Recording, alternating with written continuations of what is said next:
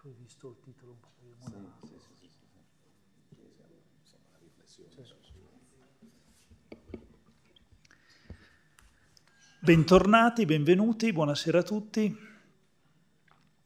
È una serata un po' particolare perché la pioggia non favorisce l'uscita di casa. Oso pensare che forse Sanremo, anche Sanremo ci ha, ci ha condizionati un po'. Io sono molto felice questa sera per questo incontro a cui abbiamo il tit- dato il titolo Autorizzati a pensare. Abbiamo eh, rubato il titolo di un discorso alla città del nostro arcivescovo, Mario Delpini, cinque anni fa, mi pare, 2018, eh, in cui provava ad affrontare il tema del cambiamento d'epoca nel quale si rischia di delegare persino il pensiero. E allora siamo partiti da, da questa intuizione e grazie soprattutto a Don Marcello che poi ci raggiungerà, però mi ha lasciato poi introdurre e quindi mi ha anche un po' spiazzato. Eh, grazie a Don Marcello abbiamo, siamo riusciti a contattare il professor Magatti. Eh, chiedo però al professor Porro di fare una presentazione perché lo conosce bene e poi dopo riprendo la parola io per introdurre il tema. Grazie, buonasera a tutti. In realtà sono pochi quelli che non conoscono bene il professor Magatti, per cui sarò brevissimo. Eh, Mauro Magatti è eh, un sociologo di formazione economica. Um, la sua prima laurea è in, in discipline economiche e sociali, è un bocconiano, dopodiché ha un dottorato nel Kent, se non ricordo male, in sociologia ed è diventato un sociologo, ha una lunga carriera alle spalle in, in Università Cattolica e ehm, si è occupato eh, dei temi più diversi in, te, in, in ambito eh, nella riflessione sui destini e sulle evoluzioni dei nostri sistemi di convivenza, sui nostri sistemi econo- sociali ed economici. Sicché ehm, è l'interprete più adeguato, io credo, per affrontare il tema di questa sera. Tra l'altro, mentre si chiacchierava prima dell'incontro, eh, ho visto che eh, è appena uscito per i tipi del mulino, il, credo l'ultima fatica del professor Magatti e di Chiara Giaccardi, sua moglie e sociologa, eh, dal titolo Generare libertà, accrescere la vita senza distruggere il mondo, a riprova dei temi di cui si occupa il professore. Eh, voglio però ricordare, prima di dargli la parola perché gli stiamo già rubando troppo tempo, eh, che Mauro Magatti è anche un vecchio amico del credito cooperativo, perché eh, da, da, tempo è ospite quasi fisso delle eh, convention, dei convegni eh, regionali e nazionali del credito cooperativo, per cui ci ha anche aiutato più volte a riflettere sul nostro lavoro, sul nostro compito, sulla nostra evoluzione, sul nostro destino, sulle nostre prospettive. Eh, quindi anche per questo ci mettiamo ad ascoltarlo con attenzione, anzi io mi metto tra il pubblico così ascolto meglio. Grazie. Io ho incrociato il professor Magatti in facoltà teologica perché... no, però non ho seguito il corso. Ecco. E invece ho incrociato sua moglie perché l'avevamo invitata come classe di, di ordinazione per una riflessione, per essere aiutati a riflettere sul tema della famiglia in, in, in evoluzione. E all'inizio si era un po' spaventata perché ci aveva visti in dieci, diceva mi avete scomodato appena di poi dopo invece si era trovato a suo agio perché aveva capito che poteva parlare liberamente. Ecco, la stessa libertà ti, ti, ti chiediamo nel aiutarci a entrare in questo mondo. Dicevo prima, usando le parole di Papa Francesco, siamo in un cambiamento d'epoca, ma proprio perché siamo dentro abbiamo bisogno di qualcuno che ci aiuti a, a interpretare, a decodificare, a comprendere questo cambiamento di cui ci accorgiamo ma che non riusciamo probabilmente molto a, a dominare. I temi che ti chiediamo di, di, di, toccare sono quelli larghi della politica, della, della società, dell'economia e nel sottotitolo abbiamo messo anche in un tempo segnato dall'intelligenza artificiale. Magari se poi dice qualcosa anche su questo, su come siamo condizionati. Mi taccio anch'io perché eh, è importante ascoltarti adesso e non parlare. Grazie. Grazie, eh, buonasera a tutti. Eh, appunto, parte Sanremo, la serata è veramente infame, devo dire che eh, sono abbastanza colpito dal fatto che siete così in tanti, perché potevamo, poteva essere una serata in cui ci trovavamo in tre, perché appunto uscire stasera era veramente impegnativo. Quindi si vede che avete una comunità eh, ben eh, affiatata. Eh, ovviamente mh, nessun discorso, nessuna parola eh, è in grado, ci mancherebbe altro, di esaurire la comprensione di quello che sta accadendo. Eh, è una conversazione che possiamo svolgere, che dobbiamo svolgere insieme tutti i giorni, aiutandoci a, a decifrare un tempo, quello che stiamo vivendo oggi e che stanno vivendo i nostri figli o i nostri nipoti, che è vertiginoso da tanti punti di vista, con grandi possibilità, eh, grandi proiezioni anche verso il futuro, quindi ci sono cose naturalmente molto promettenti, molto positive, ma al tempo stesso eh, non si può negare che pure un tempo che eh, dall'altra parte mette anche un po' di paura, perché è un tempo dove accadono, eh, ci sono tensioni, conflitti, vicende che, eh, i cui esiti ci sono ignoti. Quindi eh, credo che diciamo, i sentimenti anche che, che, abbiamo, ciascuno e un po' tutti insieme, no? siano sentimenti eh, molto ambivalenti rispetto a questo tempo. E, ehm, appunto, il, non è un problema di, di, fare pubblicità a un libro che non ha nessun senso, ma eh, dirò qu- qualche passaggio che adesso abbiamo messo per iscritto in quest'ultimo libro che è proprio uscito tre giorni fa. Eh, appunto avete sentito il sottotitolo Accrescere la vita senza distruggere il mondo. Eh, allora, posso provare a dire co- come noi leggiamo questo momento, cosa stiamo, cosa stiamo attraversando. No? Ecco, dato che diciamo, l'età media dei presenti in sala è sui 25-30 anni più o meno, sono, adesso vado a occhio, no? ma più o meno, grosso modo, siamo tra i 25 e i 30 anni.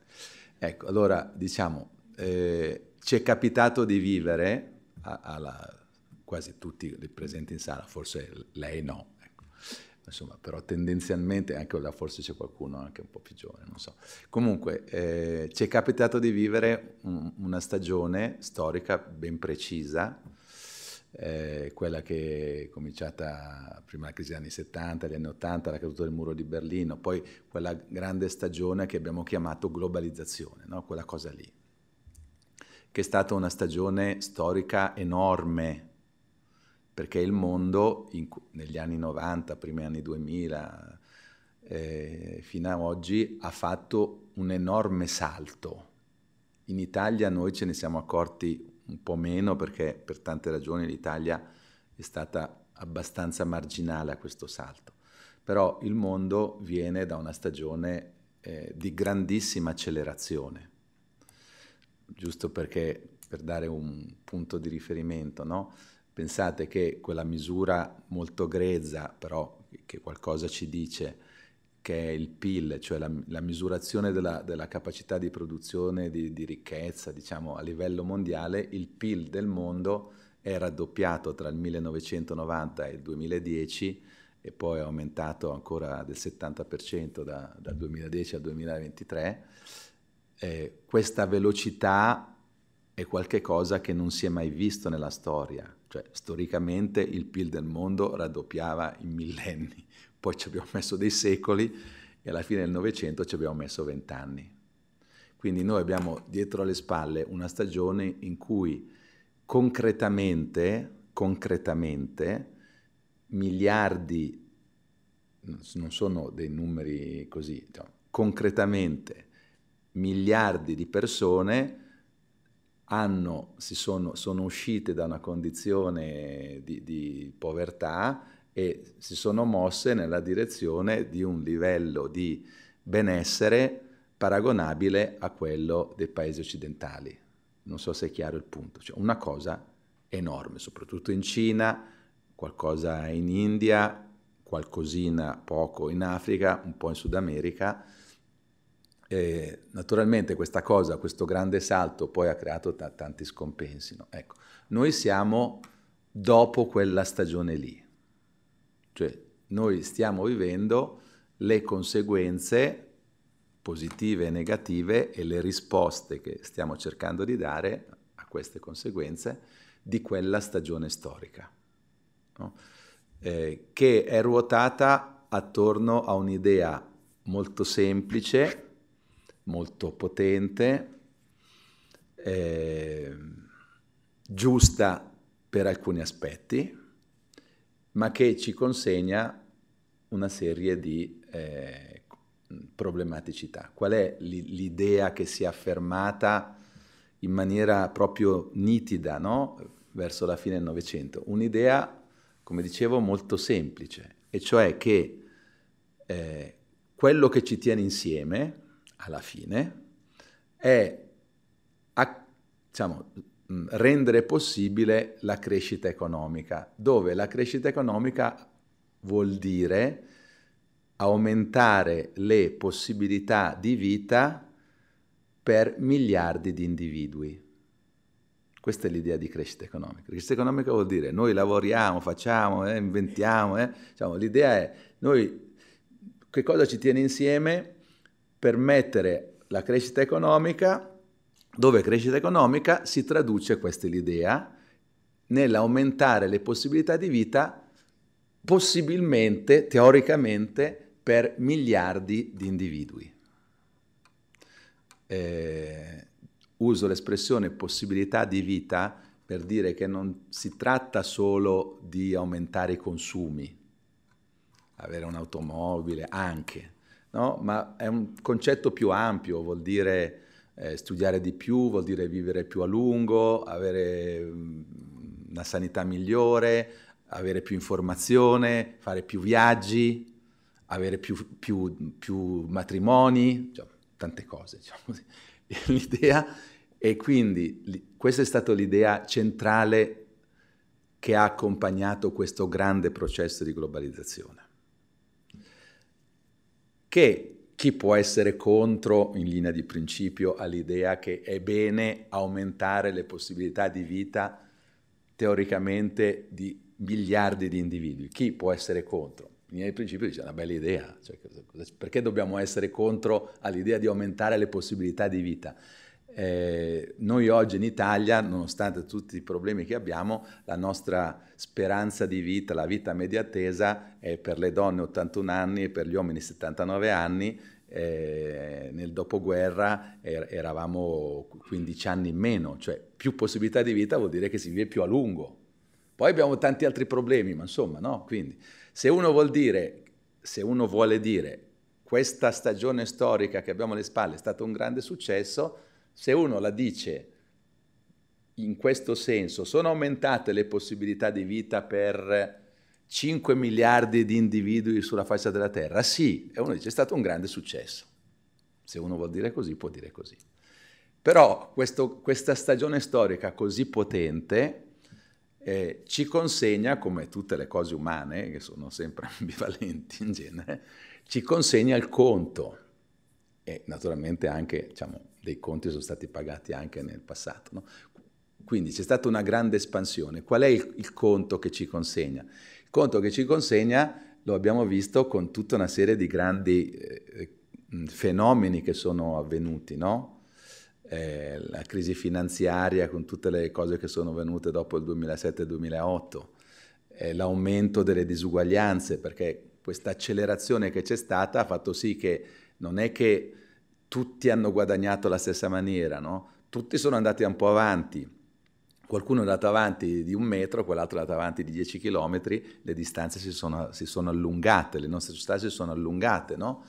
È una società che ti chiede di correre sempre, perché per aumentare queste possibilità di vita tutto deve essere efficiente, tutto deve girare, diciamo così, e se tu non funzioni è un problema. Quindi c'è tutto un tema no, di, di, diciamo, di, di, essere performativi, di essere all'altezza, non solo dal punto di vista lavorativo, ma tutto, tutto l'idea è che bisogna essere sempre, bisogna essere eh, belli, brillanti, intelligenti, no? Dove hai fatto le vacanze? Io quando ero ragazzino andavo, vivendo a Como, andavo, avevo fatto sempre le vacanze a Montepiatto, che è lì sul lago, diciamo, no? Dove hai fatto le vacanze? Sul lato Montepiatto dici, vabbè, questo sei uno sfigato, cioè come fare le vacanze a Montepiatto? Cioè, tu non puoi fare le vacanze lì, no? Devi dici, io sono stato, sono stato alle Maldive, sono stato sul Kilimangiaro, cioè ho fatto delle robe bellissime, no? Cioè, questa idea del, del che questo modello dove tutto cresce, no? dove le, le, possibilità aumentano, dove tutti dobbiamo correre dietro perché sennò, ok, quindi in più ci consegna problemi ancora più grandi la questione ambientale, perché avere accresciuto così tanto le possibilità di vita dei miliardi degli umani tra parentesi, nel 1900 c'erano un miliardo di esseri umani al mondo, adesso ce ne sono più di 8 miliardi. Non so se è chiaro il concetto, no? Quindi avere aumentato le possibilità di vita per diversi miliardi di queste persone, stiamo imparando faticosamente a capire che questa cosa produce delle conseguenze sull'ecosistema, il quale si poi produce a sua volta tutta una serie di problematiche, riscaldamento globale, le grandi migrazioni con tutte le conseguenze sulle convivenze, i rapporti tra le culture e poi adesso i rapporti, una volta che un po' la macchinetta si è rotta, i rapporti tra le grandi potenze del mondo, no?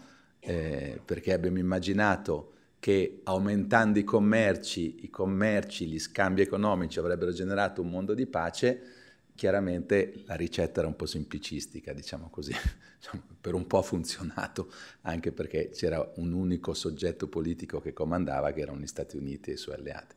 Adesso che altri paesi dicono, vabbè, ci siamo anche noi, la vicenda si fa complicata, evidentemente. Quindi noi abbiamo vissuto una stagione che dietro le nostre spalle, che ha segnato una potente espansione, abbiamo fatto un grande salto, adesso siamo entrati in un'epoca in cui dobbiamo gestire un po' le conseguenze di quel, di quel salto lì. E potremmo, diciamo, stare qui tutta la sera a elencare appunto i tanti problemi che abbiamo, no? quelli ambientali, quella della disoccupazione, i problemi della formazione, i giovani che potendo desiderare non desiderano, perché sono presi dall'ansia, dalla paranoia, non si sentono mai all'altezza, cioè per noi diciamo più o meno baby boomer, no? in cui noi siamo vissuti nel momento in cui diciamo, si aprivano un po' i cancelli del desiderio individuale rispetto alle, alle generazioni prima di noi, e il momento in cui si è detto dai, ciascuno ha il proprio desiderio, ciascuno, quindi si sono aperti i cancelli, tutti ci siamo messi a correre, adesso i cancelli sono sparancati e ci sono le nuove generazioni che non sanno dove andare oppure si fanno prendere dall'ansia, no? Oppure, cioè, non tutti naturalmente, ma molti, che è una roba pazzesca, no? Quindi siamo siamo da un'altra parte, siamo da un'altra parte. E nessuno sa, non sa nessuno, eh, che cosa accadrà, cioè come gestiremo questa nuova situazione, no? Naturalmente, ho detto all'inizio, è una situazione piena di rischi, basta guardare le tensioni internazionali. Papa Francesco è da diversi anni che parlava di una guerra mondiale a pezzi, prima è stato preso così come un tipo un po' pessimista, diciamo così, no? Adesso preghiamo che la, la, terza, la terza guerra mondiale a pezzi non diventi una terza guerra mondiale conclamata, quindi ci sono dei rischi evidenti, abbiamo appunto la, la grande questione ambientale. E in Occidente, cosa non irrilevante, questa cultura che abbiamo generato no, della crescita dell'individualismo ha raso al suolo il senso religioso, che in, in Occidente, in particolare in Europa, è, stato quasi annichilito. Non a caso in tutto il mondo, e non è un caso, anche questo è una cosa importante, eh, in tutte le grandi confessioni religiose ci sono fortissime spinte fondamentaliste. C'è il fondamentalismo nel mondo cattolico, c'è il fondamentalismo protestante, c'è il fondamentalismo ortodosso, c'è il fondamentalismo islamico, c'è il fondamentalismo ebraico, c'è il fondamentalismo indù, cioè non sarà un caso che tutte, in tutte le grandi religioni in questo momento ci sono spinte fondamentaliste. Perché?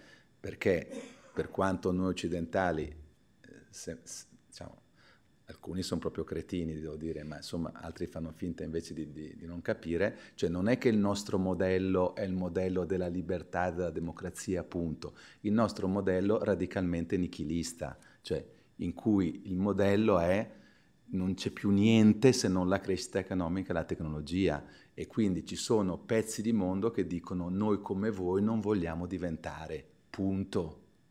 Vi invito a leggere la lettera che Kirill, il capo della Chiesa ortodossa, ha scritto quando Putin ha attaccato l'Ucraina e ben inteso non giustifica niente ovviamente, ma solo per capire il punto, che Kirill i rapporti tra lo Stato russo e la Chiesa ortodossa sono molto diversi perché nel mondo ortodosso c'è sempre stato un rapporto molto stretto tra la Chiesa e il potere politico. Ma Kirill scrive nel 2022 più o meno letteralmente così.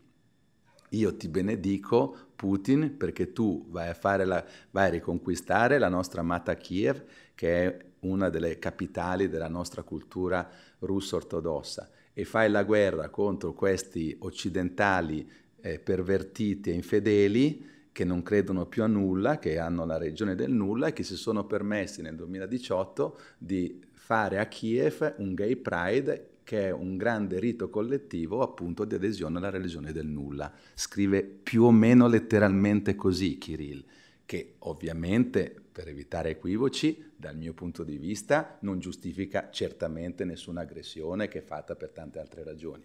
Ma noi occidentali dovremmo sforzarci di capire che non è che noi siamo semplicemente il mondo della libertà, appunto, siamo il mondo della libertà nichilista, che rade al suolo tutto, come evidente in Europa, peraltro, e peraltro anche negli Stati Uniti.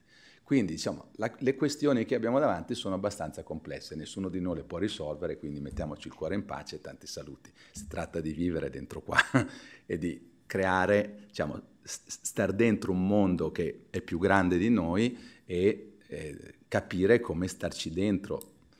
Per questo che l'invito di Monsignor Delpini di Autorizzati a Pensare era un invito molto prezioso, perché eh, diciamo, il pensiero, cioè cercare di collocarsi senza avere pretese di onnipotenza che sono del tutto smisurate, cercare di, di capire come si può vivere, diciamo così, in quest'epoca così forte, così potente, è qualche cosa a cui dovremmo dedicare un po' di tempo. Ecco, poi uno dice, vabbè, chi se ne frega, io faccio le mie cose tutti i giorni e tanti saluti. Vabbè, ok. Allora, proviamo a fare un passettino in avanti. De- dentro questo quadro sono partiti due film. Cioè, dato che gli uomini sono intelligenti, anche le donne, cioè, gli uomini e le donne sono intelligenti, sono partiti due risposte, diciamo, no? E quali sono le due risposte? Uno è la grande questione della sostenibilità. Controversa, adesso ci sono i trattori in piazza perché gli agricoltori dicono che eh, l'Europa diciamo, prova a affrontare il problema in un certo modo, adesso non entriamo nel dettaglio, comunque la questione della sostenibilità, che è prima di tutto question- la questione della sostenibilità ambientale, ma poi più in generale la sostenibilità vuol dire che quell'idea lì di crescita, cioè quell'idea che è stata no, un momento storico, cade il muro di Berlino, ci si globalizza, tutto cresce, ecco quella magia lì non funziona più. È del tutto evidente al di là della questione ambientale, che noi siamo entrati in un'epoca in cui se tu non lavori per ricreare continuamente le condizioni sociali, demografiche, formative, istituzionali, ambientali, se non si lavora per ricreare le condizioni che rendono possibile la crescita economica, non c'è più nemmeno la crescita economica. Questo la questione della sostenibilità è questa qui, cioè e questo cambia tutto, diciamo, no? Quindi da una parte entra questo tema, ovviamente l'aggiustamento è problematico, limitiamoci al tema ambientale, no? Trasformare le nostre economie in Occidente e fuori dall'Occidente per eh, assumere questo problema che abbiamo detto prima, che l'aumento delle possibilità di vita illimitato produce conseguenze devastanti sull'ecosistema, questa questione che nel Novecento non c'era, comunque andrà affrontata, ci sono dei costi enormi, ci sono quelli che ci guadagnano e quelli che ci perdono, quelli che possono affrontare questa transizione e quelli che non possono affrontare, i ricchi che vanno da una parte, i poveri che dicono vabbè eh, io non ce la faccio, io cito sempre quando ci sono state le manifestazioni in Francia nel 2018, no? c'era un manifesto, un manifestante che portava un cartellone che diceva voi pensate alla fine del mondo, io penso alla fine del mese, no? Cioè, bellissimo, perché questo è il problema, no? Cioè, bisogna pensare alla fine del mondo, ma bisogna anche pensare alla fine del mese. Il problema è trovare una composizione, no? È complicata, eh? Cioè, è complicata. Quindi, da una parte c'è questo tema della sostenibilità, che ripeto che non è solo ambiente, è ricreare le condizioni che rendono possibile la crescita economica. La, l'altro film che è partito è quello, diciamo, no, diciamo, del, del, cambiamento tecnologico associato alla, tra virgolette, intelligenza artificiale, ma che è la fase matura della digitalizzazione, che è qualche cosa di molto più radicale di quello che è stato storicamente l'industrializzazione, che tutti noi abbiamo studiato alle scuole superiori o alle scuole medie, quando abbiamo studiato che nel 1700, nel 1800 la fabbrica, eh, il motore a scoppio, la ferrovia, abbiamo, tutti abbiamo il vago ricordo che quando successe quelle cose c'è stato un gran casino. No? Cioè le cose sono andate avanti, ma ci sono stati morti, feriti, un caos. Ecco, noi stiamo vivendo la fase matura de- della digitalizzazione è un processo molto più radicale del, della, dell'industrializzazione, molto più radicale, destinato a cambiare modi di produrre, modi di vivere, i modi di pensare. Quindi noi, diciamo, noi ne vediamo un pezzettino, i nostri figli ne vedranno molto di più naturalmente, no? ma il processo di digitalizzazione nella sua maturità è un processo diciamo, mh, di cui dovremo boh, cercare di capire come starci dentro, sfruttando le tante opportunità che la digitalizzazione renderà possibile e nello stesso tempo limitando invece gli aspetti negativi, che come tutte le cose sempre ci sono.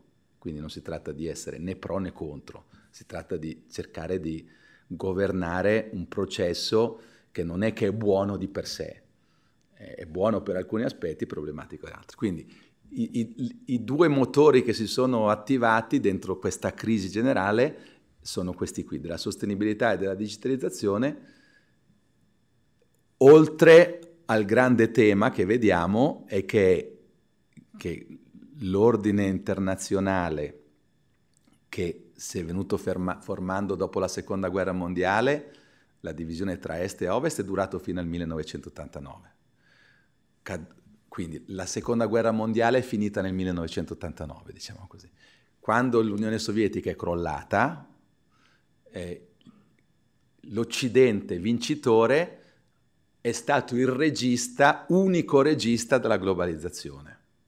Dopo 30 anni, io quando ero bambino, faccio due esempi, quando ero bambino, e molti di voi, eh, cioè quando eravamo giovani noi, gli islamici io non sapevo manco che esistessero e li chiamavamo i maomettani e io mi ricordo che c'erano dei, dei fumetti, cioè delle robe strane, io non li avevo mai visti gli islamici, né nemmeno voi, non sapevamo manco dove stavano. E nel 1979 c'è stata la rivoluzione di Khomeini, diciamo che è, è, è il primo sintomo in cui il mondo islamico che per alcuni secoli aveva perso tutto ed era stato sottomesso all'Occidente torna diciamo nella scena della storia. E ci sono mm, so quanti sono, un miliardo e mezzo di islamici, tutta la striscia che va dal Marocco, la Tunisia, la Libia, eh, tut, tutta la penisola araba, il Pakistan, eh, arrivare fino all'Indonesia, cioè tutta la, questa striscia di mondo che va giù poi nell'Africa, cioè tutta quella striscia di mondo che sono, che sono islamici, non è che sono proprio quattro gatti e non è che possiamo considerarli un, una massa di, di incivili, perché sono alcuni miliardi di persone e la loro storia, per quanto ha avuto un periodo di buio, è una storia importante. Non è che sono, sono, sono degli Zulu, con rispetto per gli Zulu, diciamo così, no? Quindi abbiamo da una parte, la, idem la Cina, la Cina sapevamo che era là, ma chi, chi, pensava, la Cina è entrata nel WTO nel 2000, capite, ieri mattina, e per quanto in questo momento abbia tanti problemi, tutti sanno, per ragioni di, di inerzia, diciamo così, che la Cina, tra pochi anni, l'economia della Cina sarà più grande dell'economia degli Stati Uniti. Quindi Dopo 30 anni di globalizzazione il problema è costruiamo un ordine globale attraverso una, una, terza guerra mondiale o riusciamo a arrivarci mettendoci d'accordo? Perché questo è il nodo, eh? Cioè, perché non potrà essere l'ordine globale che si è formato dopo l'89, capite? Perché siamo da un'altra parte nella storia.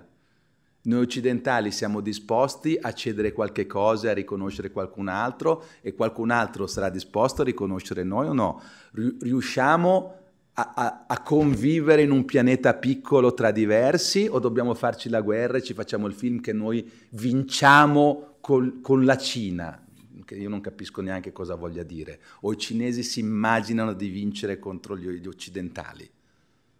Quindi abbiamo la questione del, della sostenibilità, la questione della digitalizzazione e la questione dell'ordine, diciamo, dei rapporti internazionali. Queste sono le tre grandi questioni che ci occuperà, occuperanno una generazione, non è che occupano i prossimi tre mesi, né? Quindi cioè, occuperanno i prossimi 30 anni.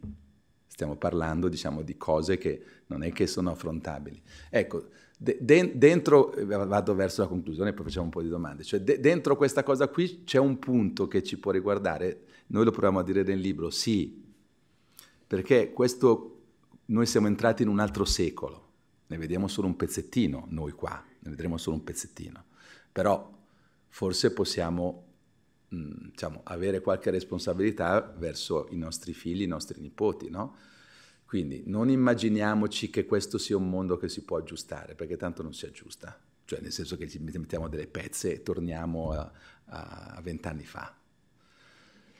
Qual, qual, è, qual, è, il punto per noi, che poi non è per noi per fortuna, eh, ce lo siamo inventati noi, abbiamo un, un leader mondiale che sta dicendo, poveretto, da anni questa cosa, in tutte le salse, lì che si, sbandiera in, modi, in tutti i modi, ma che si chiama Papa Francesco.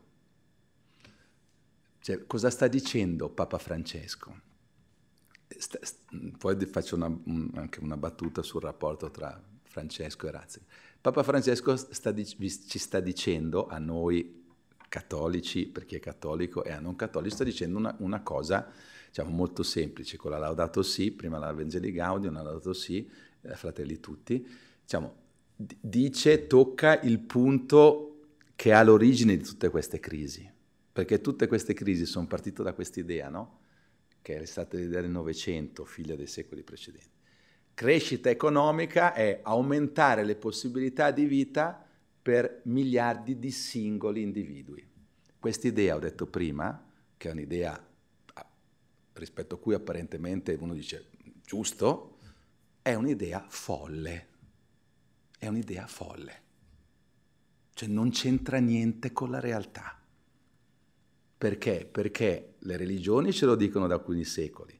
Ce l'ha detto a suo modo la psicanalisi e adesso ce lo sta dicendo la scienza da cento anni, non da un giorno, anche se purtroppo alle scuole superiori si continua a insegnare la, la, la scienza che, che diciamo, classica e non quella attuale. Cioè la scienza da cento anni ci dice che non esiste, non c'è forma di vita sulla faccia della terra che non sia in relazione con ciò che viene prima, con ciò che sta intorno e con ciò che viene dopo.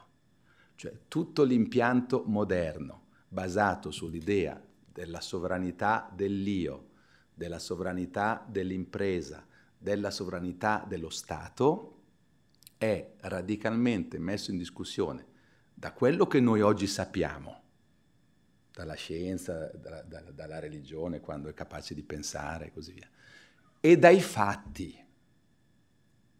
E quindi il cuore di questa crisi, che è un, è un cuore culturale, non è un cuore tecnologico, dopo viene anche la tecnologia, abbiamo bisogno naturalmente di nuove tecnologie. Il cuore culturale di questa crisi è riconoscere che l'idea fondativa degli ultimi secoli, degli ultimi trent'anni, che noi ci immaginiamo come individui, come imprese, come stati, a prescindere dagli altri, è un'idea che porta alla distruzione del mondo.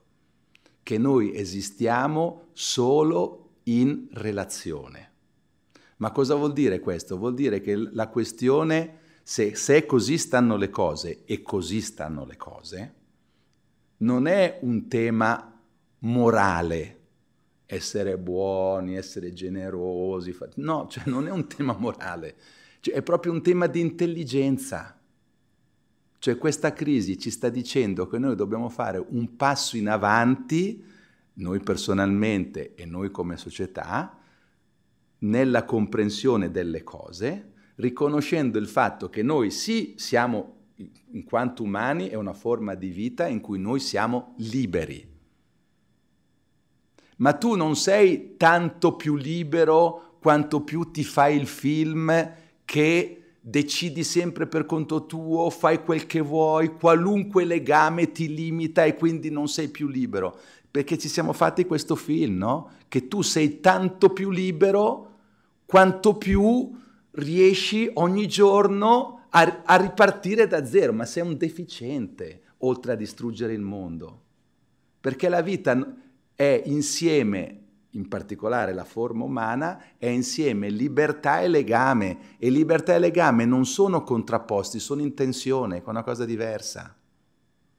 Non sono uno il contrario dell'altro, ma libertà e legame sono in tensione e quello che noi possiamo fare come esseri umani intelligenti e liberi è decidere come giochiamo questa tensione. Che mi spiego. No? Eh, il rapporto tra le generazioni. L'Italia ha un problema drammatico di invecchiamento, di demografia. La nostra generazione, non, non parliamo della nostra generazione, in Italia l'Italia continua a essere un paese che ha una grande ricchezza privata e un grande debito pubblico. La ricchezza privata, che in Italia sono 10 mila miliardi di euro, complessivamente ci sono le case e tutto il resto, ci sono, diciamo, di queste Mille, ci sono 1300 miliardi no, non di titoli, di, di risparmi nelle, diciamo, nei depositi bancari, proprio di soldi nelle banche, diciamo così. 1300 miliardi, li abbiamo noi, diciamo, ce li ha la generazione dai 50 anni su, il 30-40% diciamo, di quelli che stanno bene.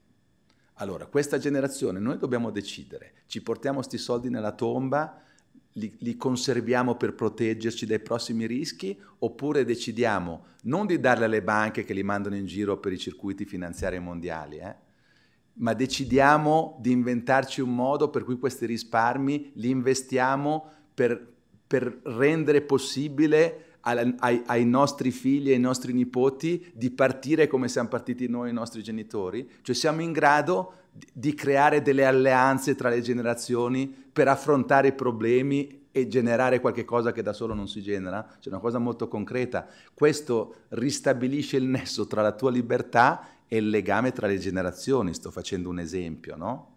Oppure un altro esempio, no? Noi siamo partiti, quando ero ragazzo io, come voi, diciamo, l'idea era che diciamo, si stava in casa, poi uscivi di casa tendenzialmente, o andavi per conto tuo, ti sposavi, c'era l'idea del matrimonio, che non è che era il mondo de, de, sempre proprio così bello come lo raccontavano, cioè, c'erano anche tante schifezze anche là ovviamente, non è che era proprio tutto, fan, tutto, un mulino bianco, cioè era una roba complicata anche allora. Comunque siamo partiti da quella roba lì e siamo andati al, al contrario, no? Cioè in cui ci sono le nuove generazioni che sono convinte, dico che qual è l'idea?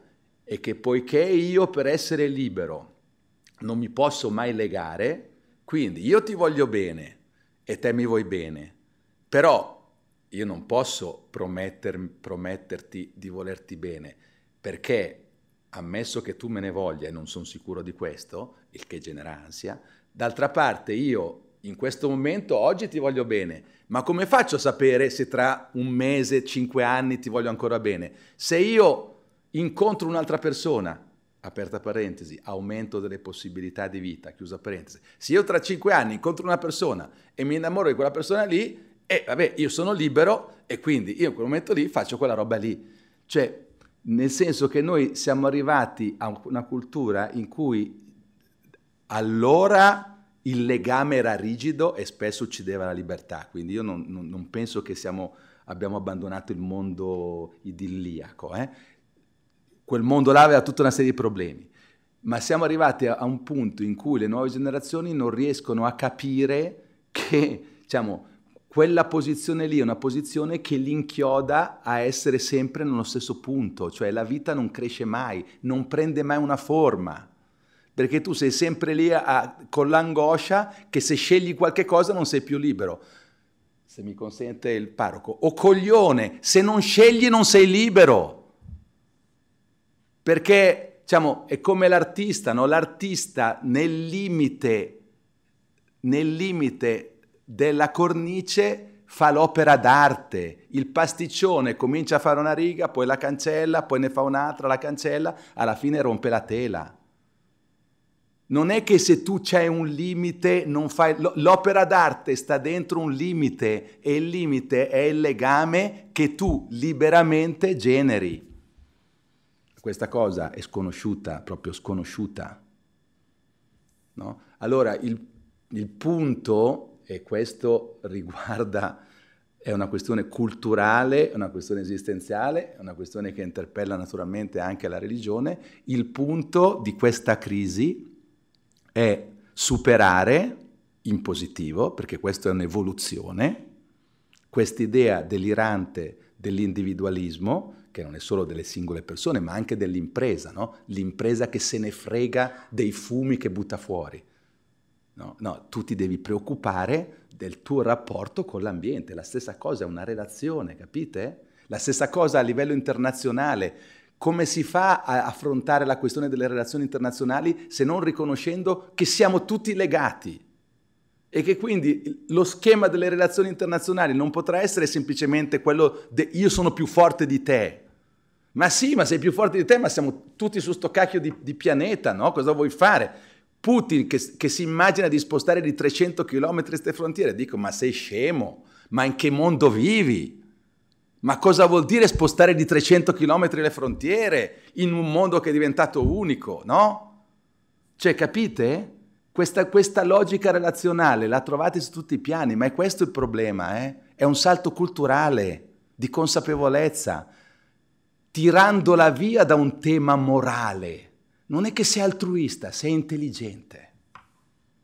E infatti l'altruismo era diventato, diciamo, perché poi l'abbiamo preso così no? ma, ma, ma, già gli antichi avevano capito, da Aristotele in avanti avevano capito, avevano fatto delle riflessioni a proposito del bene. Ecco, noi dobbiamo aggiornare quelle riflessioni al tempo dell'oggi e riuscire a capire che questo tempo ci sollecita, sollecita noi, ma soprattutto le nuove generazioni. Se non si prende questa strada qui, guardate, il conflitto da una parte, oppure la verticalizzazione, cioè la, il digitale ci porterà dietro il fatto che i livelli di potere diventano, cioè sarà tutto troppo difficile. Per cui e voi adesso vi state ascoltando da tre quarti d'ora, vi siete pure rotti le scatole. Dice, professor Magatti mi ha fatto girare la testa. Chi se ne frega? Benissimo. L'alternativa al conflitto sarà la, la, è, è, è troppo difficile per la democrazia. Qualcuno comanda. Fuori dall'Occidente ci saranno le autocrazie, in Occidente ci saranno i centri di potere economico-politico, che col digitale vi faranno fare quel che vogliono loro. L'alternativa sono queste due. Eh? Cioè se noi non facciamo il salto culturale, l'alternativa è o il conflitto o la verticalizzazione. Non c'è storia. Perché il salto che abbiamo fatto richiede una intelligenza diffusa più grande. Ce la faremo? Boh, non lo so. Se uno si guarda in giro Mm, non so se ce la facciamo, ma è l'unica possibilità. Eh? Cioè, è, è, è, è veramente interessante perché questo è, un, un, uno sforzo, ma io credo che si capisca che è uno sforzo in positivo, non è uno sforzo restrittivo, non ci vuole meno libertà, ce ne vuole di più, una libertà più intelligente. Mi fermo qua.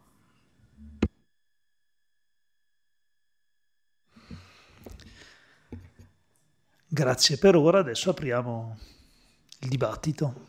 Io mi sono segnato già 5 o 6 domande, però non vorrei fare un dialogo, ma una conversazione. Adesso non fatevi spaventare, adesso non è che non, non preoccupatevi. Eh? Ah, le due papi, sì, sì.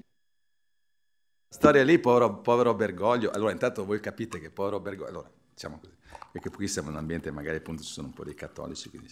Allora, vabbè, Ratzinger ha posto il problema, cioè ha detto è successa una cosa in, in, quel, quell'epoca che abbiamo descritto, no? Cioè lui ha detto che c'è stata questa, l'ha detto lui ma l'ha detto anche altri grandi filosofi, sta, fino al Novecento, diciamo con tante tensioni, ma comunque c'è stata una relazione tra la ragione e la fede, diciamo, la ragione, l'intelligenza, che poi era anche laica così, e l'esperienza religiosa, e le due cose con qualche difficoltà stavano in rapporto.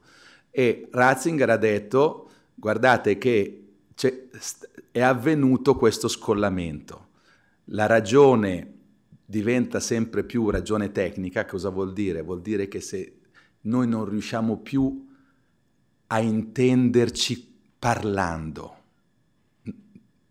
già in famiglia, ma tantomeno, cioè io mi auguro che voi non guardiate la televisione, vero? Cioè, la televisione va presa, cioè, va, va presa a martellate, cioè se uno ascolta la televisione capisce meno perché è tutto polarizzato.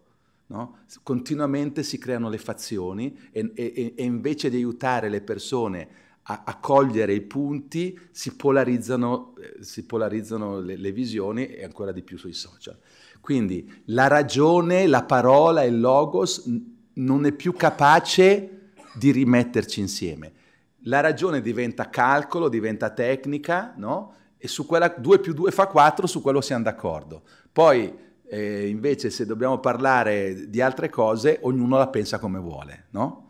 e da una parte la ragione si restringe e, e si distacca dal riferimento religioso. Quindi eh, Ratzinger ha detto, guardate, parlando all'Occidente, che è in atto un cambiamento radicale e questa cosa è foriero di tutta una serie di problemi, non solo dal punto di vista religioso, ma anche dal punto di vista della convivenza sociale e politica.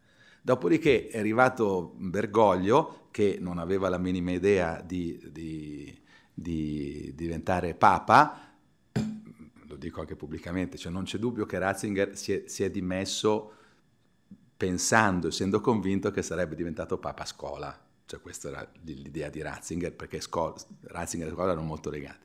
Ma dato che Ratzinger ha fatto, preso una decisione pazzesca, come la dimissione di un Papa, questa cosa ha, ha creato un tale momento di scompiglio nel, conclave che per i giochi dello spirito, invece di diventare scuola, è diventato Bergoglio, con, in maniera totalmente inattesa. Quindi questo qui ha 78 anni dall'Argentina, che non so se mi spiego, si trova a fare il Papa in mezzo a un casino del Vaticano.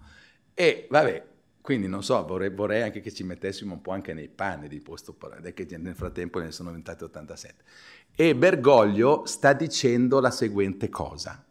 Quello là è il problema, quello di, di Ratzinger non c'è nessun professore che ha la risposta, né per risollevare la ragione, né tantomeno per rimettere insieme il rapporto tra ragione e fede. Quindi Bergoglio sta dicendo da dieci anni ai cristiani e agli uomini di buona volontà, dice, in attesa che arrivi qualche professore che intanto non c'è, ne ci può essere, cominciate a immergervi nella realtà dell'umano, che sempre più soffre di questo scollamento, immergetevi nel, nella realtà dell'umano e immergendovi nella realtà dell'umano si farà una strada e poi forse un giorno riusciremo a rimettere il rapporto, perché quelli che vogliono rimettere insieme religione e, e, e ragione in questo momento storico sono i fondamentalisti, cioè che dicono guardate è un gran casino, quindi bisogna rimettere insieme le cose, lo dico io e se tu non fai come ti dico io ti ammazzo, cioè che è una roba abbastanza grezza diciamo così e che tendenzialmente non funziona.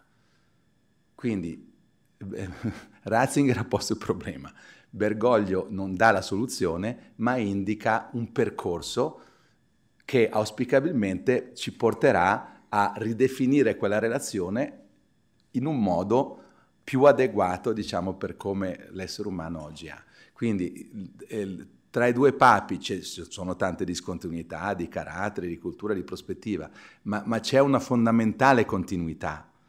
E questo è importante da dire anche rispetto dire, alla Chiesa, perché diciamo, il, il, il, il, tempo che stiamo vivendo, lo, l'ho cercato di dire prima, è un tempo che ha tanti problemi, è un tempo anche radicale rispetto all'esperienza religiosa e anche l'esperienza religiosa è chiamata a rigenerarsi.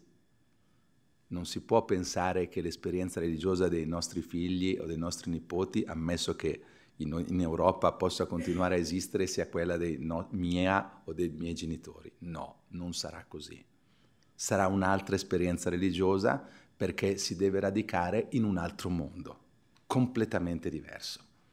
E quindi bisogna accompagnare eh, non tanto con dei discorsi, non tanto con delle affermazioni, ma con delle vite, perché diciamo, come è noto il Vangelo si, si, si, si, trasferisce di bocca in bocca, di vita in vita, eh, augurandoci che i nostri figli, comprendendo appunto le sfide che hanno davanti colgano il valore eh, del vivere eh, que- quest- quest- questi drammi, anche queste sfide del nostro tempo, anche attraverso eh, la, l'ispirazione che viene in questo caso dal cristianesimo essendo in Europa.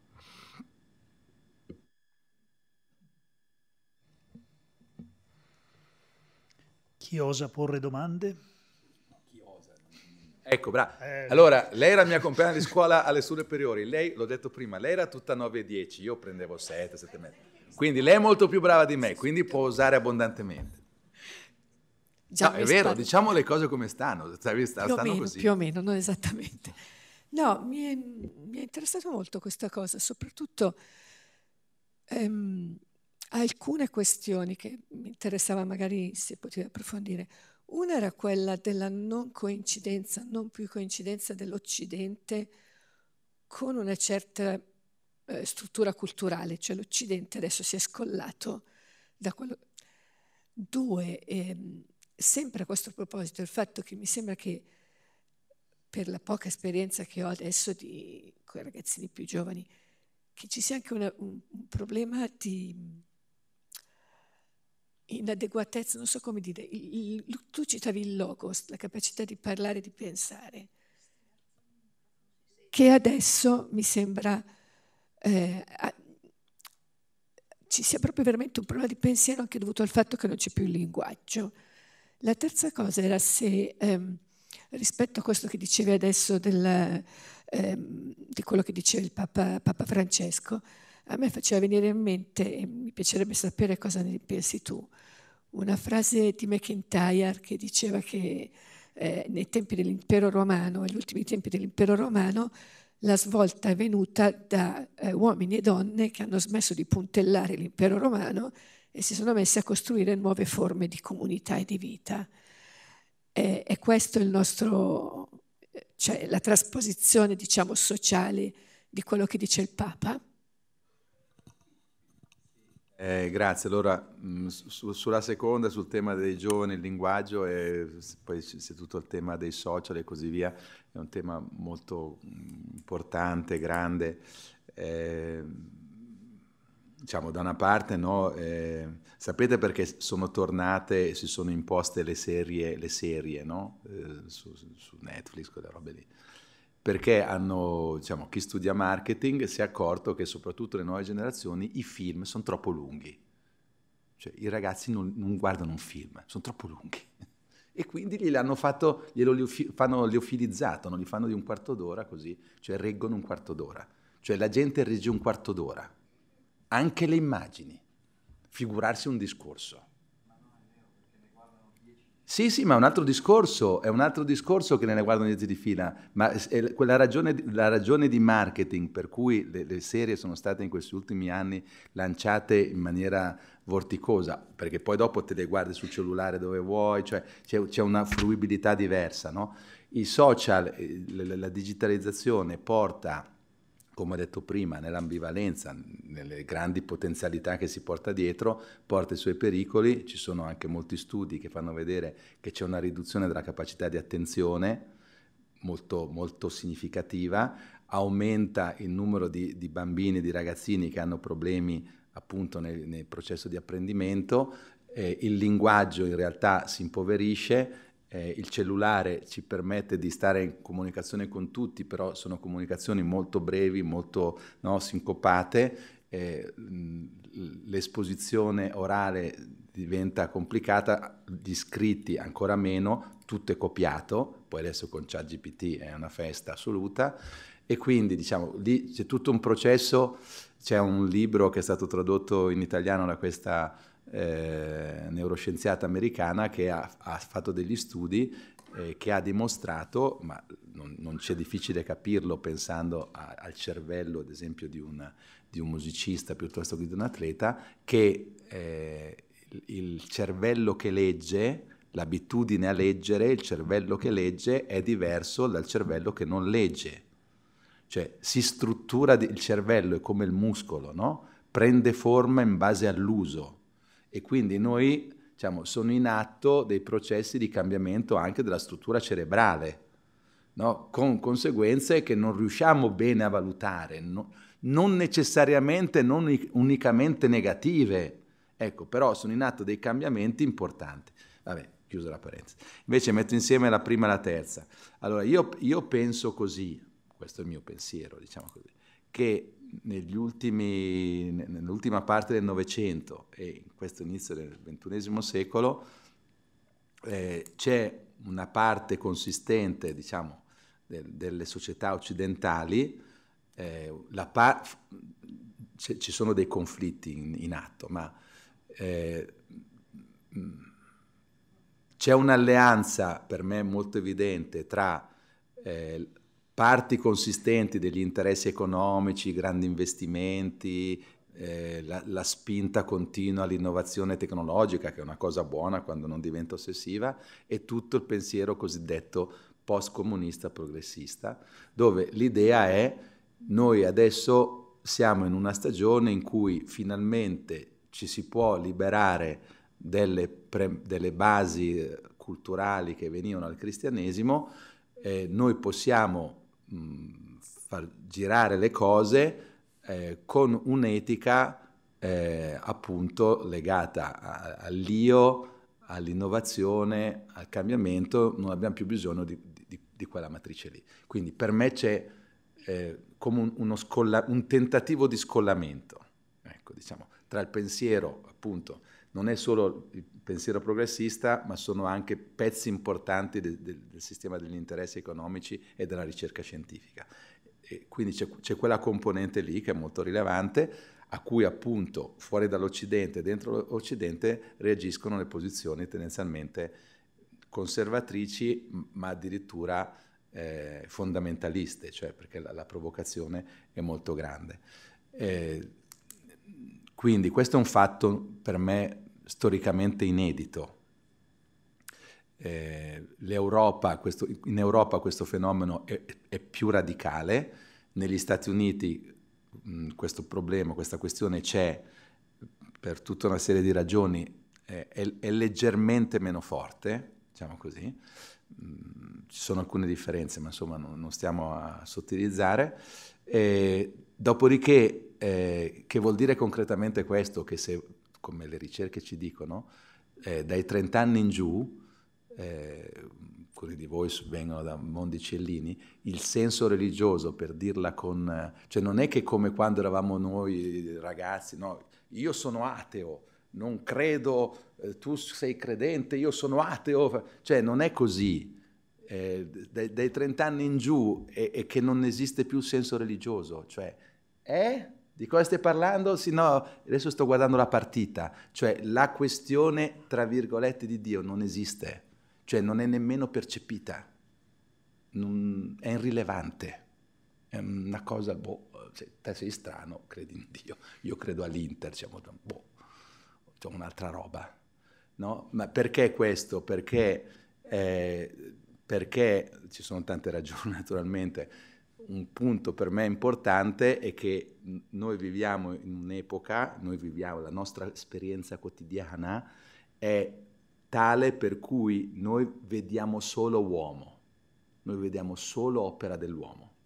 Noi siamo in una stanza fatta, edificata con il microfono, le cose, cioè, eh, cioè uscendo prendiamo la macchina, cioè abbiamo il cellulare, cioè la, noi siamo dentro una specie di capsula in cui la, il senso religioso nasce dall'esperienza che fi, fino a quando ero bambino era possibile, in cui tu sei sulla terra, fatta di terra, lì c'è il cielo, tu sei lì come un pirla e dici, no? Cioè, cosa ci faccio io qui in questo universo? Quell'esperienza qui diventa sempre più rara.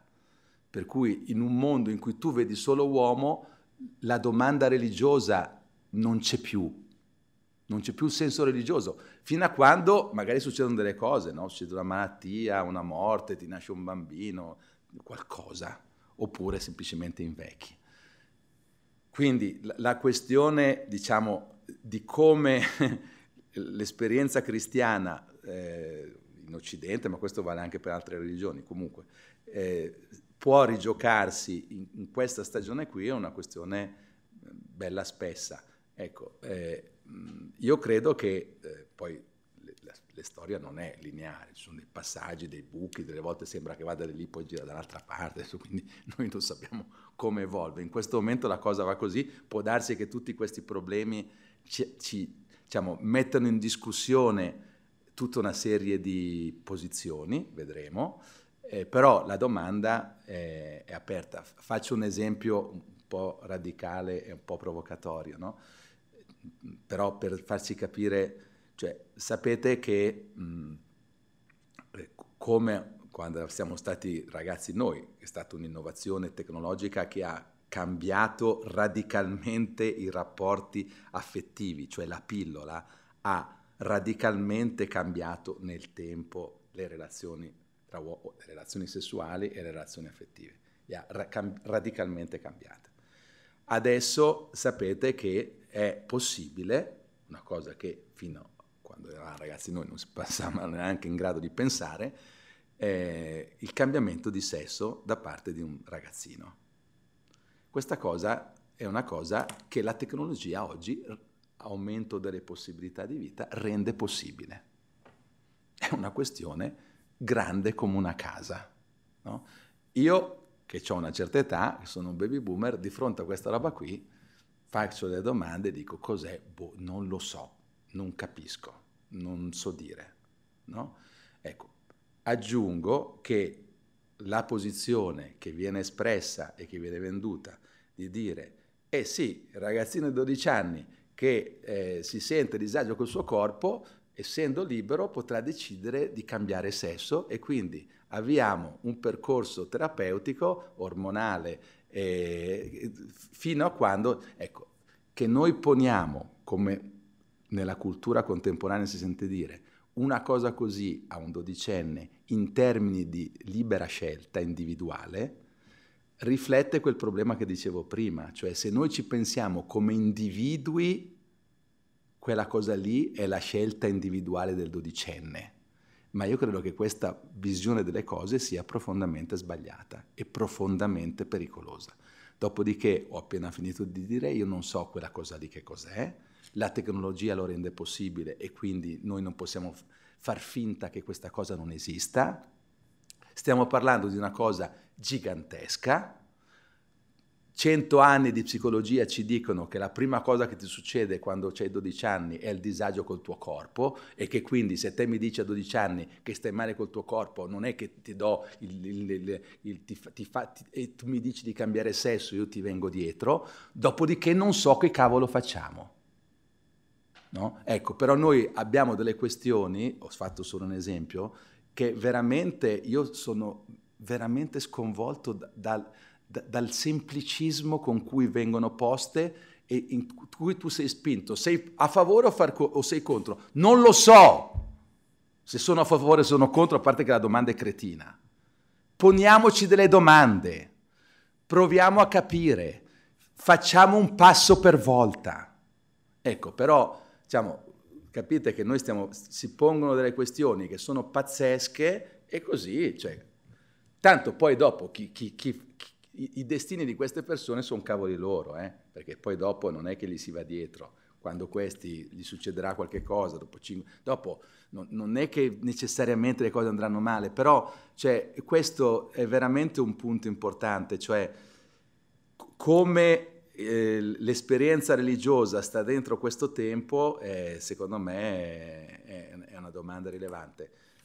Scusate ancora se mi allungo ancora di un secondo, il tema della relazione significa, noi da anni, anche qui ritorna nel titolo, parliamo di generatività, diciamo, eh, nel tempo individualizzato, individualistico, c'è un grave problema di affezione. Qui nessuno vuole più bene a nessuno. Ovviamente. Cioè noi non sappiamo più cosa vuol dire voler bene, cioè siamo stiamo diventando, diventando degli analfabeti dell'affezione. Il cristianesimo parla di, tra virgolette, amore, cioè di affezione, e che io credo, a proposito della tua osservazione, no? le forme di vita non sono delle menose questioni, diciamo, teoriche, sono questioni in cui si sperimenta eh, la bellezza e la complessità del volersi bene tra fratelli e del volersi bene e del voler bene soprattutto a chi, diciamo, nei confronti di chi viene escluso da questa società. Papa Francesco non, non insiste, a parte che non è Papa Francesco, ma è, è il Vangelo, per cui è, cioè, nel Vangelo non è che si parla continuamente dei poveri perché se non la Caritas, né? ma perché lì è molto chiaro che la fede in Dio non esiste se non c'è l'amore per il prossimo, in particolare non tanto e non solo tua mamma, tuo fratello tuo zio, a me se non concesso che li vogliamo bene, ma se tu non fai l'esercizio del prenderti cura del povero che ti sollecita a imparare questo esercizio dell'amore. Cioè non c'è il cristianesimo senza questo movimento. Il cristianesimo senza questo movimento non esiste non è, un, non è una questione della caritas, è che le due dimensioni, la verticale e l'orizzontale, ama il Dio come te stesso, ama, ama, il tuo Dio e ama il tuo prossimo, le due dimensioni sono inscindibili, non si possono separare. Io faccio spesso questo esempio, io ho diversi figli, no? E supponiamo che il mio primo figlio fa una carriera brillante, fa tante cose, bravissimo, eh, fa una bella famiglia, fa i soldi. E supponiamo che un altro figlio invece fa casino, si mette nei guai, e il primo figlio dice, beh, quello là è un cretino, sarà anche un cretino, diciamo così. Ma quando il primo figlio viene, viene, viene da me e mi dice, papà, eh, e io gli dico, ma tuo fratello dov'è? Cioè, capite che non ci, non ci, non ci si potrà presentare dal padre perché ci chiederà Dov'è tuo, ma tuo fratello? Ci hai pensato? Perché mi chiami padre? Non si possono separare le due cose. Nel cristianesimo questa cosa non si può fare. È una cosa che non si può fare. Ecco, il cristianesimo, diciamo, rispetto a questo tempo, ha, ha una forza, ha una forza dirompente, che non è tanto semplice eh, giocarla, perché questo mondo se ne fotte, se ne fotte totalmente. L'idea è, andiamo a, adesso, leggevo di, quel, di, di Jeff, Jeff, Bezos, quello di Amazon, no? che adesso anche, vabbè, gli, gli, la sua idea è, dato che abbiamo tutti questi problemi, eh, la vita futura degli umani sarà fuori dalla Terra, sarà extraterrestre. No, ma scusate, lo dice seriamente, non è che lo dice per scherzo. No, ma siamo davanti alla follia. Cioè i cristiani potranno dire che la crescita economica va bene, l'innovazione va bene, la scienza va bene, ma si va avanti col passo del più debole? Riusciamo a dirla questa cosa? E a farla? Cioè, se no che cristiani siamo? Ma, no, ma non perché siamo comunisti. Cosa c'entra essere comunisti? È il Vangelo. Comunismo è morto e sepolto. È stata una grande eresia. Il cristianesimo è morto e sepolto. Ma i cristiani hanno questo da dire a sto mondo, no? che è la relazione, l'ho detto prima con un'altra parola, è la stessa roba. Noi esistiamo solo in relazione, in relazione all'Eterno, in relazione all'altro, se no non esistiamo. Il cristianesimo è questo. Papa Francesco si sta dicendo che il cristiano vive nella relazione, se no non esiste. Scusate.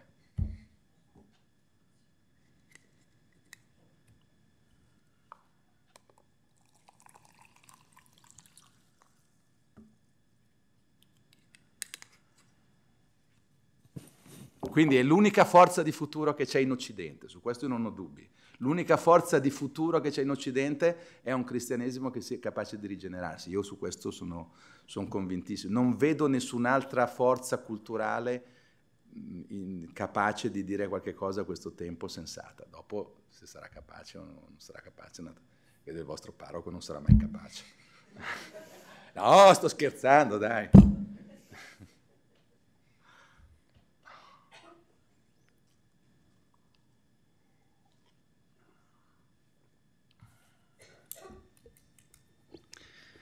Una domanda semplice sul presente.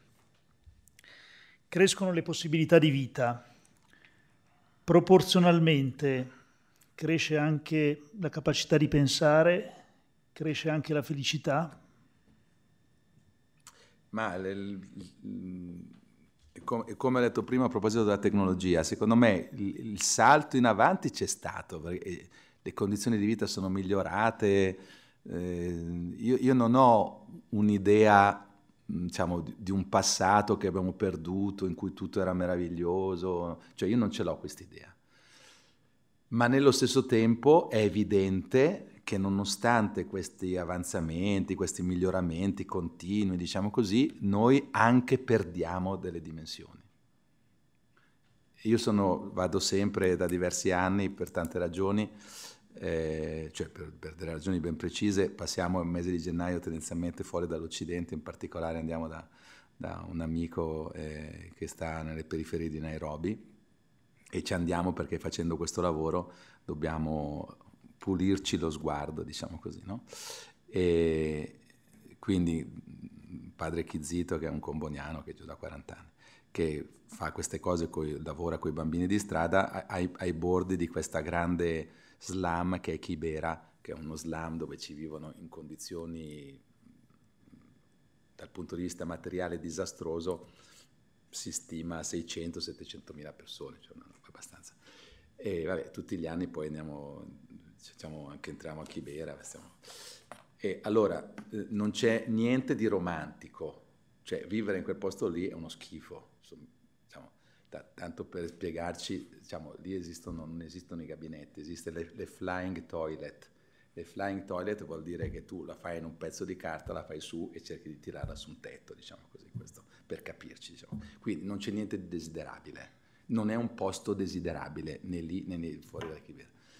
Eh, ma non c'è dubbio, non c'è dubbio che lì si sente e si percepisce una vita che qua non c'è più. Che quando tu esci da lì, da quella zona lì, torni, torni in Occidente, ti sembra che qui siamo tutti morti, che noi abbiamo una vita molto da tanti punti di vista che loro ci desiderano, ma noi perdiamo, noi siamo, siamo qui irrigiditi, no? non ci abbracciamo, non, non, non riusciamo più a, a, vedere le sofferenze l'uno dell'altro, siamo tutti eh, continuamente presi da 50.000 cose che non si capisce mai di che cosa stiamo parlando, no? Siamo, cioè, quindi è chiaro che noi viviamo meglio, sappiamo più cose, siamo più informati, viaggiamo di più, benissimo, ma perdiamo delle dimensioni, chiarissimamente perdiamo delle dimensioni, si perdono delle dimensioni dell'umano. E quindi, non, e quindi diciamo, non è che, cioè anche questo è un punto importante, non, questa, la, la, crescita è una cosa buona, va bene, ma chi se ne frega della crescita? Ma, ma, chi se ne frega, de, le nostre automobili sono più, migliori di quelle che avevamo vent'anni fa, ma qual è, cioè, ma qual è diciamo, il contributo reale del fatto che c'è l'automobile, cioè, ma chi se ne frega rispetto alla vita, alla vita tua? Cioè qual è il contributo di quella roba lì? Zero, zero. Cioè capite che infatti uno dei punti che poniamo nel libro, no? Cosa vuol dire più vita? Cosa vuol dire più vita? È giusto, il titolo è Accrescere la vita, ma cosa vuol dire più vita? Noi viviamo fino a 90 anni, peccato che gli ultimi 10 anni siamo completamente ribambiti in una casa di cura. Ma, ma che senso ha? Ma cosa vuol dire? Non si riesce più manco a morire, non ti fa morire. No, perché questo è anche un problema, né? non è un problema di eutanasia, ma il problema è che qui non, tecnicamente ti fanno battere il cuore fino a 150 anni, perché abbiamo un problemino con la tecnica, che ormai non, non riesci più manco a morire. È un problema, né? sarà anche il caso che la Chiesa se lo ponga, perché non è solo accanimento terapeutico, ma che è un problema. Viviamo molto di più, peccato che diciamo, allunghiamo in, man- in, maniera inverosimile un, un, un tempo che boh, non si sa bene se sei vivo o sei morto. Cioè, cosa vuol dire più vita? Questa è una domanda fondamentale. Cos'è più vita? Più vita. Perché capito, sono partito da lì, ho detto crescita economica significa aumentare le possibilità di vita per miliardi di individui. Oltre al tema dell'individualismo, l'altra questione è cosa vuol dire più vita. Che cos'è che, che, cos'è che cerchiamo? Cos'è che abbiamo bisogno per stare meglio? Questa è una domanda economica anche, oltre che politica. Cioè quali sono i nuovi beni? Quali sono i nuovi beni di cui abbiamo bisogno? Ad esempio un, un bene di cui abbiamo bisogno è capire che l'educazione e la formazione è un bene fondamentale che, che deve che, che, su cui dobbiamo investire molto più risorse, che deve accompagnare le persone tutta la vita, perché per stare dentro una società complessa hai bisogno continuamente di, di, di, di, cercare di capire in che cavolo di mondo sei finito, perché se no sei veramente in balia di tutto, tanto per fare un esempio. E quello è un bene, è un bene, certo, non è un cellulare per te, ma chi se ne frega se c'è il cellulare. Tra l'iPhone 17, non so che numero è, e l'iPhone 14 son, è cambiato solo che uno costava 1000 euro e l'altro te lo, fanno, te lo vendono a 1800 euro e ogni anno tu devi cambiarlo per essere con l'ultimo modello. Ma sei scemo, ecco, sei scemo.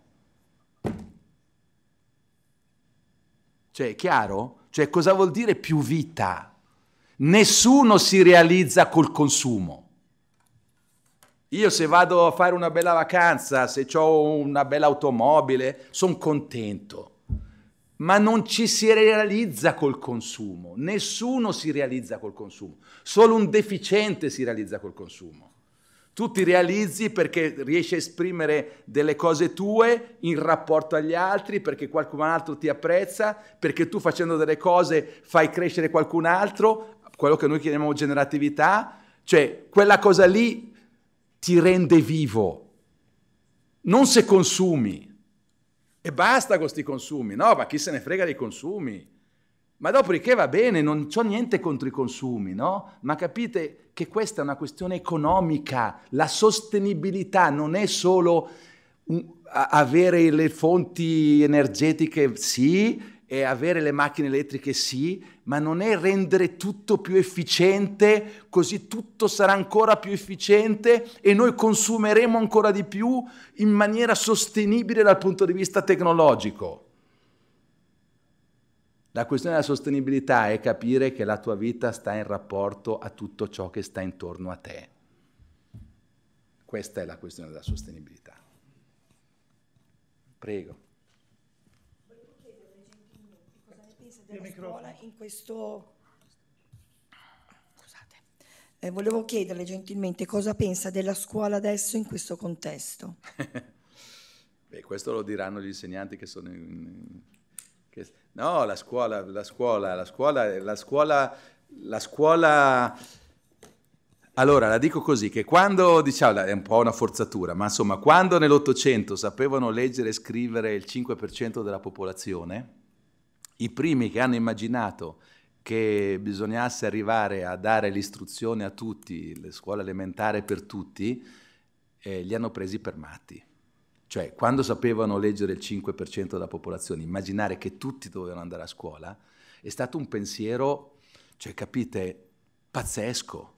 Perché quelli là gli avranno detto, eh, ma, ma sei scemo, ma chi è che paga le scuole, i maestri? Cioè, è una roba folle.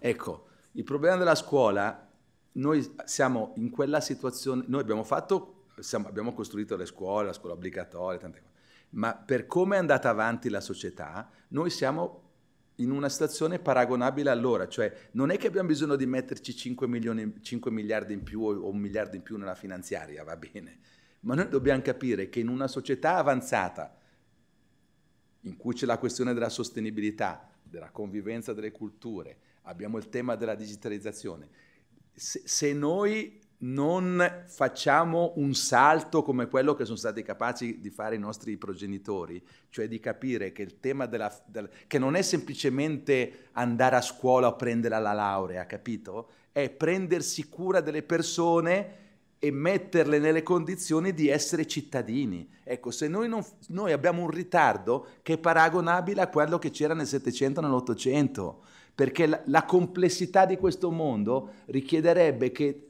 che, che, che investiamo molto più tempo ad aiutarci a capire, a, essere all'altezza di questa cosa qui e ciao. Quindi il problema della scuola è che noi l'abbiamo lasciata là dietro, no? E ci sono da una parte degli eroi, perché ci sono tanti professori che si fanno in quattro e si inventano, ci sono dentro anche tanti lazzaroni, tutti se ne fregano, Basta vedere gli stipendi de- degli insegnanti delle scuole superiori e scuole elementari che sono una cosa indegna, cioè sono una cosa indegna per un paese civile, è una roba che non, non, ha, non, ha, senso, ma non è un problema sindacale, è che tu non puoi pagare una persona che si, si prende cura, che sono due palle così, né? cioè non è che fare l'insegnante sia una roba semplice, 1300 euro al mese, ma, ma tant'è, tant'è vero che non ci sono più manco gli insegnanti, che scoperte, perché appena appena se uno può va a fare un'altra roba ma vi sembra una roba ragionevole, vi sembra una cosa sensata.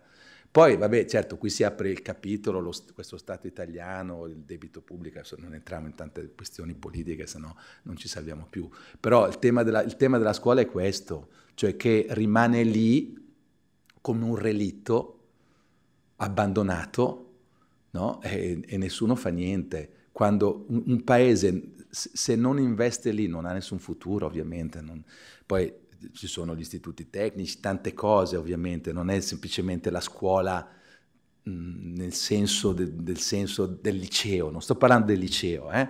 sto parlando diciamo, del prendersi cura delle nuove generazioni, ma poi anche della formazione degli adulti. Eh, cioè appunto, prima ho fatto un cenno alla televisione, noi spendiamo tutta sta massa di soldi per questa informazione che è un gran casino, non serve a niente cioè serve solo per rimbambirci. Cioè, invece di, la, negli anni 60, ma anche lì non è per tornare allora, no? la, la, la, televisione aveva un chiaro mandato educativo, sia civile sia culturale. Dopodiché, e non è colpa di Berlusconi, è cambiato tutto il mondo, è arrivata la tv commerciale, si è, inver- si è invertito l'ordine dei fattori. La televisione è un modo per fare soldi. E quindi se è un modo per fare soldi, eh, capite che è un'altra logica. perché ti faccio continuamente sempre peggio, ti devo fare il programma più, più, più, più, cretino che attira più piccioni a mangiare il cibo che gli metto lì. Eh, il, per cui noi ci, ci lamentiamo dell'inquinamento ambientale, ma, ma abbiamo un problema grande come una casa con l'inquinamento informativo. Cioè l'inquinamento formativo è, è ancora più grave dell'inquinamento ambientale. Cioè cosa dobbiamo fare? Eh, amen. Quindi, cioè, dopodiché non è per demoralizzarci, eh? cioè, è, è, per, è, per, dire che però la battaglia deve essere, cioè, è, è una roba seria. E cosa vi devo dire? L'ho, l'ho, detto prima, il mondo ha fatto un salto, non ce ne siamo tanti accorti. Negli ultimi 30 anni, 40 anni, il mondo ha fatto un salto pazzesco. E bisogna partire da, quella, da quell'idea lì, capite? Cioè, veramente abbiamo fatto un salto. E adesso, non tanto noi che siamo ormai andati, diciamo, tra virgolette, eh, più o meno. Cioè, noi vabbè, noi, cioè, non tanto noi, ma il problema è che la, la, quella roba qui, diciamo, la passiamo ai nostri figli e ai nostri nipoti, capite?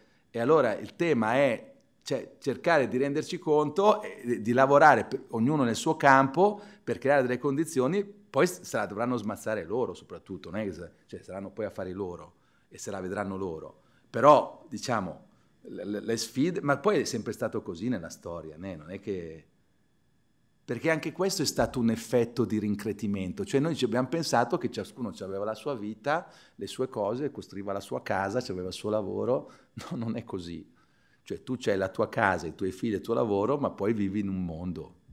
E adesso il mondo ti arriva addosso, cosa devo farci? Per cui bisogna studiare sociologia. no, sto scherzando, sociologia lasciatela perdere.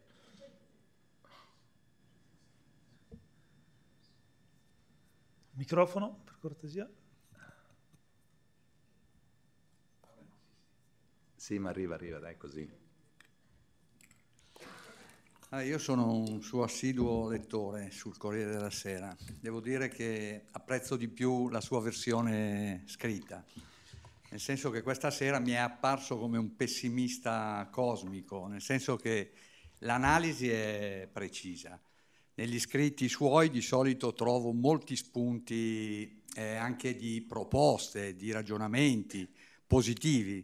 Stasera è una serata storta, voglio, voglio prenderla così nel senso che ci, ci manda a casa eh, che strisciamo sul pavimento, non che le cose che dice siano, mm, come dire, fuori luogo, ma è un po', come parlava prima del fatto che c'è la tendenza a diventare eh, esagerati, no? Eh, no? il termine giusto era... Polarizzazione. Eh sì, le polarizzazioni, ma non solo, si diventa estremisti in qualsiasi cosa che si fa mi pare che lei contribuisca a creare questo clima, perché la domanda che mi veniva da farle è ma c'è una prospettiva diversa a quella che lei presenta, cioè la possibilità che un pensiero un po' meno eh, drammatico possa essere contemplata, tra l'altro nell'ultima parte sua rispetto ai giovani la adombrava perché dice poi il problema ogni generazione ha dovuto affrontarselo per conto proprio, no? perché l'idea che la generazione precedente prepari il posto caldo e via dicendo l'abbiamo superata negli anni in cui si è ritenuto che ogni società, ogni generazione deve fare la propria fatica, il, il proprio impegno, la propria, la propria, strada. Però questo era per dire che continuerò a leggerla. Eh? Sì, sì. No, no, ma io capisco benissimo. La domanda precisa è, ma la politica, perché se no ci scappiamo via, ha una funzione importante in, in, in, questa dinamica? E la risposta lo so che è sì. Ma voglio dire, l'impegno dei cattolici nella politica torna ad essere un elemento centrale o continuiamo a considerarlo eh, residuale come è stato fatto dagli anni 90 in poi? Io credo che questo sia il problema vero che ci dobbiamo porre, perché portare i valori è, è una bella cosa. Essere, come dire, i rappresentanti dell'etica, della, della, eh, de, dei valori di un certo tipo e via dicendo, ma poi dobbiamo imparare a praticarli, a trovare le vie perché questi valori si, si inverino nella società che immaginiamo. Sì, sulla, sulla prima parte eh, capisco quello che lei dice, io non sono per niente pessimista, eh, se uno guarda il mondo eh, ci sono ragioni per essere terrorizzato, ci sono, terrorizzati, ci sono naturalmente, come ho detto all'inizio, eh, tante risorse, tante energie, tante possibilità. Viviamo in un momento che conclude un, un certo ciclo storico, eh, se ne deve aprire un altro, non sappiamo se e come quest'altro ciclo si deve aprire. Quest'altro ciclo sarà caratterizzato ehm, da eh, tutta una serie di elementi che saranno diversi dal precedente, come sempre è stato nella storia. Ho anche, peraltro, eh, cercato di far capire, e se questa cosa non è emersa sufficiente, eh, sufficienza mi dispiace, che c'è una leva fondamentale e positiva, che è assumere, superare l'idea che è figlia di una lunga storia e che in particolare si è cristallizzata a partire dagli anni 60, 70 e 80, l'idea individualistica eh, nei diversi piani perché quell'idea lì che ha avuto il suo senso, il suo significato, ha fatto la sua storia, produce tutta una serie di conseguenze e se non si ha la forza, prima di tutto culturale, di capire in che senso e perché quella visione è esaurita, il passo in avanti non riusciremo a farlo. La questione del riconoscimento della costitutiva relazionalità, che già un secolo fa era stato posto da, da, diciamo, dal personalismo, eh, che si riprende nelle mie parole in una luce, in un contesto diverso, è diciamo, la, l'unica prospettiva che io sono in grado di vedere in positivo. Io non ho parlato, la parola valore non fa parte del mio, del mio vocabolario perché non penso che sia quello il piano, eh, ma è un problema di prospettiva culturale. In questo momento, politicamente, non solo in Italia, a livello internazionale, tra le posizioni progressiste, che come ho detto, per quanto mi riguarda, sono schiacciate su una concezione eh, tecnocratica e individualistica, non c'è più niente di critico nel pensiero di sinistra, non c'è più niente, e la reazione polarizzata dei populismi e dei fondamentalismi in questa situazione, diciamo, che non so dove porterà, eh, se c'è uno spazio che può venire dalla radice cattolica, cristiana o da altri, per quanto mi riguarda, che può interloquire sia con, diciamo, con forze che stanno sulla destra, sia con forze che stanno sulla sinistra, per quanto mi riguarda, è il porre la questione che ha tutta una serie di implicazioni molto concrete del riconoscimento di questa questione della relazionalità della vita, che apre tutta una serie di, di, di conseguenze, che vanno poi naturalmente declinate. Quindi sul fatto che siamo in un momento storico in cui non si sa da che parte guardare, perché ci sono tantissimi problemi, ma che nello stesso tempo abbiamo tantissime risorse, tantissime capacità, tantissime eh, intelligenze, ma che non abbiamo nessun orientamento, secondo me questa cosa è chiarissima. Non so se questa cosa vi suscita ansia, non so cosa farci, ma basta che uno guardi la realtà. Io però non sono pessimista, sono convinto che gli esseri umani siano intelligenti, ci si arriverà, non so dire se e come ci si arriverà, cioè se dovremo passare attraverso dei disastri per imparare. Io siamo, abbiamo vissuto tutti tre anni fa la vicenda del Covid, vero? Che è stata un'esperienza a parte che il 31 dicembre 2019 ci avessero raccontato che saremmo stati in lockdown tre mesi dopo non ci avremmo creduto. È stata un'esperienza pazzesca, collettiva, eh, in cui abbiamo visto alcune cose precisamente, le abbiamo toccate e in particolare abbiamo toccato che tutti eravamo collegati attraverso il respiro, che essere chiusi in casa voleva dire sentirsi in carcere, che avevamo bisogno degli ospedali, quindi questa cosa della relazione è stata evidente. Finito il Covid, il mondo è peggiorato, perché lo slogan è stato ripartire, ripartire, ripartire. È partito il film tecnologico e è, è, è, scoppiato il casino internazionale, quindi un'esperienza collettiva che avrebbe potuto, drammatica, che, che ci ha fatto vedere, ci ha fatto vedere la, la, realtà di questa dinamica relazionale, non ha prodotto effetto. Quindi questo mi lascia molto sconvolto, perché temo che la capacità della nostra società di, di, di, di capire il punto sia molto bassa, perché se non abbiamo capita lì, ragazzi, Quindi io penso che non ci sia tanto da essere ottimisti. Ah certo, è una cosa diversa però, è una cosa molto diversa. E io sono stato per fortuna educato e sono contento che i miei genitori mi abbiano dato così, a, a, a, che porre le questioni, anche radicali, sia il presupposto per sperare di affrontarle. Noi abbiamo davanti questioni molto grandi e bisogna, secondo me, dire alle persone, voi poverette vi è andata male appunto stasera, che le questioni che abbiamo davanti sono molto serie e bisogna finirla di dire che, che, che, che così, che è una roba, sì, una... perché poi il, tutto il discorso va, va bene, va bene, poi comunque ci salverà la tecnica. La tecnica non ha mai salvato nessuno, sono tutti nelle tombe fino a prova contraria. Dopodiché la tecnica ci serve. La tecnica non ci salva, la tecnica è uno strumento, è un'altra cosa. La vita delle persone si salva non dalla tecnica. Prego.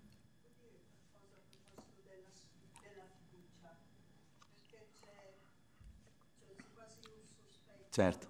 Non era Tommaso che diceva che viene su una civiltà solo sulla fiducia? Certo.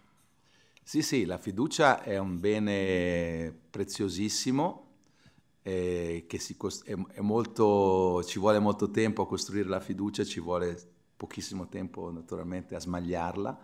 Eh, senza fiducia non si va da nessuna parte e noi però viviamo in un mondo in cui abbiamo deciso che la fiducia non serve a niente eh, infatti basta vedere, cioè, diciamo, il, digitale si propone come un sostituto funzionale della fiducia, no?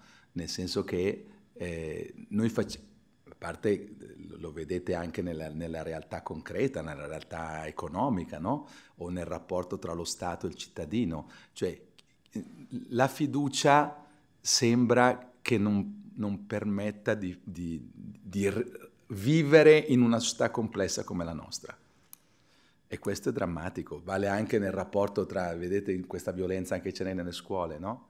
Questi insegnanti che sono aggrediti, tu dai un, dai un, un 4 a, a, a, a, un ragazzo, il, il, arriva il genitore che dice lei, lei, come si permette di dare 4 a mio figlio, che, cioè i genitori che non hanno più nessuna fiducia nei confronti di, di, di, per fare degli esempi. No? Quindi noi viviamo in un'epoca in cui l'abbiamo cioè, l'abbiamo sventrata sta fiducia e ricostruirla è una roba complessa. Però ha ragione lei che senza fiducia non si va da nessuna parte, sia fiducia interpersonale, sia fiducia nei confronti delle istituzioni, sia fiducia nel futuro, nel senso di, di sapere che la strada è complessa, ma abbiamo diciamo, una direzione da raggiungere, no? che abbiamo una prospettiva da raggiungere. Il problema è proprio questo, qual è la prospettiva? Qual è la prospettiva? Chi, chi parla di una prospettiva?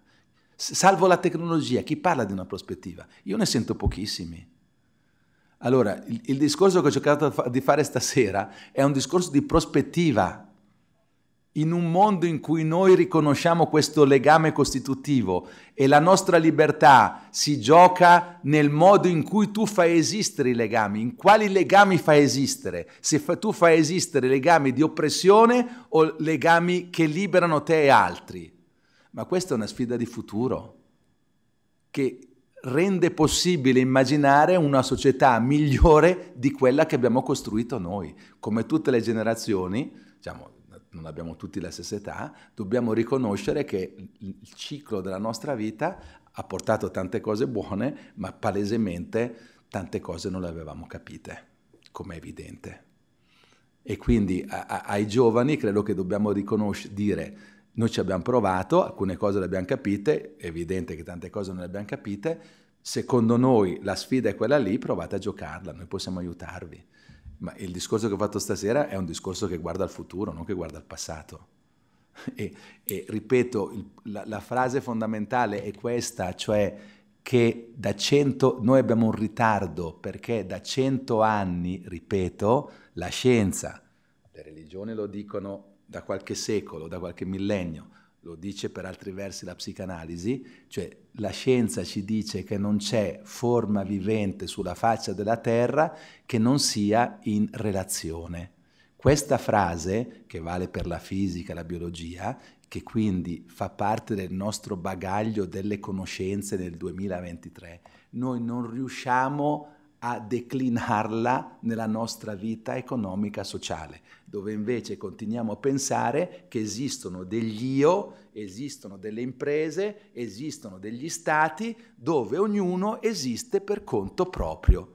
Questo pensiero è un pensiero assurdo, lo ripeto, è stato importante storicamente perché ha avuto dei meriti, ma ha esaurito la sua spinta.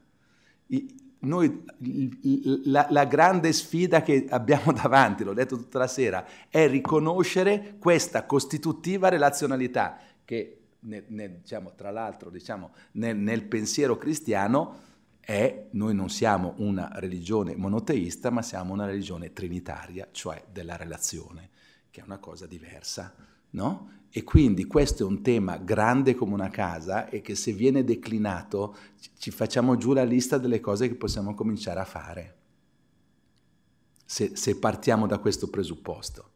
E se invece superiamo il presupposto, adesso per farla semplice, del sessantottino che dice io esisto, me ne frego di tutti, il mondo lo voglio fare come dico io. No, con buon rispetto del mio amico di cui soffro di un'invidia bestiale per il successo che ha avuto, Massimo Recalcati, che parla del desiderio, che certo che il desiderio che l'abbiamo scoperto nel Novecento è importante, ma se tu per il desiderio di altro, come, come, come, come dice quel pensiero, ma questo altro non c'è mai, quello lì è il problema, che, che si dice che il desiderio di altro, ma sto altro non c'è mai, e questo è il problema.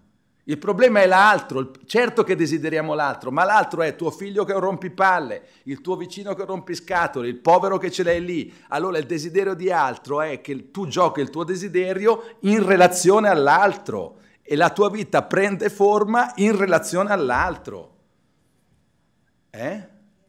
Che resta altro, è certo. Eh, ma questo è un salto culturale, capite? Cioè questo è il salto culturale. È quello che il povero Papa Francesco sta cercando di dirci da dieci anni. Lo continua a dire. Non è che parla della Caritas, ma chi se ne frega della Caritas? E lo continua a dire in tutte le salse. E, e se i cristiani si rendessero conto, diciamo, che c'è una sfida grande come una casa e si mettessero a fare qualche cosa, magari succederebbe, magari qualcosa potrebbe succedere, no? Dov'è che vedete un, un, una radice culturale che riesce a, a porre questa questione? Non c'è. Appunto, c'è la polarizzazione da una parte quelli che ti dicono che c'è l'io che va per conto suo e quegli altri che ti dicono ci chiudiamo contro tutti, cioè che, che è una forma regressiva di pensare il legame, no? Cioè, da una parte non c'è il legame, dall'altra parte c'è il legame chiuso. Appunto, non, non si riesce a capire che noi siamo insieme liberi e legati. Questa è la caratteristica dell'umano. Noi siamo liberi, ma nello stesso tempo siamo sempre anche legati e la nostra libertà si gioca nei legami che facciamo esistere. Generare libertà vuol dire che noi la libertà la possiamo generare, non solo rivendicare. Se io sono un piccolo imprenditore che ho cinque lavoratori, questi lavoratori possono essere i miei schiavi, io posso farci soldi suoi, sulla loro fatica o posso trattarli come umani, farli crescere e promuoverli. È chiaro? Questo vuol dire generare libertà, concretamente.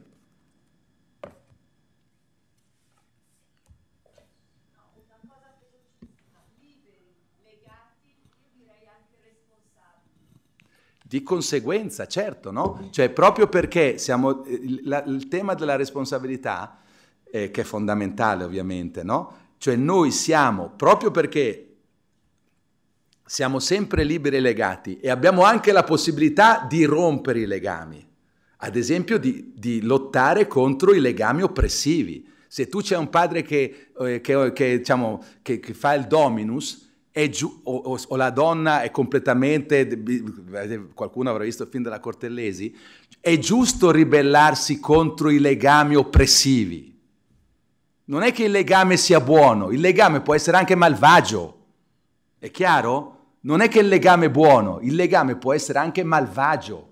Quindi tutta la modernità, ed è un grande valore, la modernità ci ha insegnato che bisogna lottare contro i legami malvagi Ma il problema è che la modernità quella roba lì la tira fino alla fine e, e, sembra che l'unica cosa che puoi fare è liberarti dai legami, l'ho detto prima. Invece c'è la pars destruens, lottare contro i legami oppressivi. Dopodiché tu, una volta che ti sei liberato, qualunque cosa tu fai, qualunque cosa tu fai, non fai altro che ricostruire dei legami con altri metti su un'impresa, fai una famiglia, eh, crei un'associazione, qualunque cosa fai ha a che fare con altri. Allora la responsabilità è tu nell'esprimere la tua libertà, quali, quali legami fai esistere?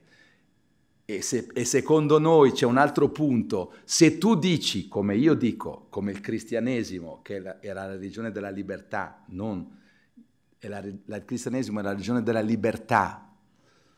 Se, se la libertà ci qualifica e, ci, è, è ciò che ci distingue come dalla dignità di ognuno di noi, quindi io rivendico il fatto di essere libero e quindi rivendico il fatto di avere uno spazio di espressione, di libertà, allora, nel, nel, manifestare la mia libertà, se io non voglio contraddirmi in quanto libero, io non posso che esprimere questa libertà in maniera tale che anche altri possano godere di quel bene fondamentale che qualifica me stesso, che è la libertà. E quindi nell'essere libero io mi devo preoccupare che la mia libertà transiti su altri. Questa cosa qui non la dice nessuno, perché il tema è solo della mia libertà, che mi devo liberare io. Il problema è che noi ci liberiamo ma qualunque cosa facciamo, ripeto, noi costruiamo continuamente dei legami. Allora la responsabilità è quali legami tu fai esistere nel mondo. E questo è il pezzo di discorso che io penso, diciamo, culturalmente, che ha poi implicazioni politiche, economiche, culturali, diciamo, diciamo, come questa cosa possiamo declinarla. Perché tutto invece il discorso che sentiamo intorno a noi è che tu sei libero e che noi non siamo abbastanza liberi perché non ci siamo ancora abbastanza liberati, che è un delirio totale.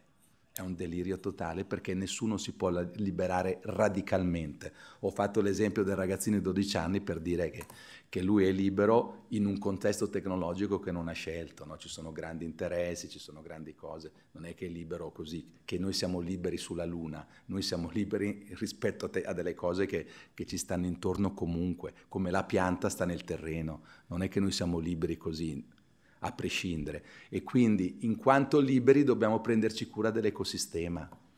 L'ecosistema è una condizione della libertà, ma questo l'abbiamo salutato tanto tempo fa l'ecosistema, l'ecosistema sociale, intendo dire. No? I liberi hanno a cuore, che nel linguaggio tradizionale è il bene comune, che non si può dire più bene comune, cioè, non si può dire, cioè, è, è, prendersi cura dell'ecosistema, no? In quanto libero, tu capisci che l'ecosistema è importante per la tua libertà e per la libertà degli altri. Non è che puoi pensare solo alla tua libertà, ma che ragionamento è? Quindi è fondamentale. Grazie professor Magatti, mi pare che si sia messo in moto il pensiero, potremmo andare avanti ancora a fare domande, ma mm, l'ora mi pare che non ce lo consenta, però possiamo continuare a pensare, a ritrovarci, a, a riprendere queste cose a gruppetti, è un po' il compito che ci diamo, penso che sia mm, una cosa utile perché sennò come spesso capita, grandi intuizioni poi si muore lì. Eh, siamo in relazione con eh, la BCC che ci ospita, che ci ha ospitato e che ringraziamo anche questa sera. E poi è arrivato anche il mio alter ego, che è Don Marcello, eh, che invito a venire qui per fare un saluto, una, una conclusione. Vieni qua, fa, materializzati, perché sennò sono da solo, sono un individuo, sono una monade, invece così si capisce che siamo in relazione.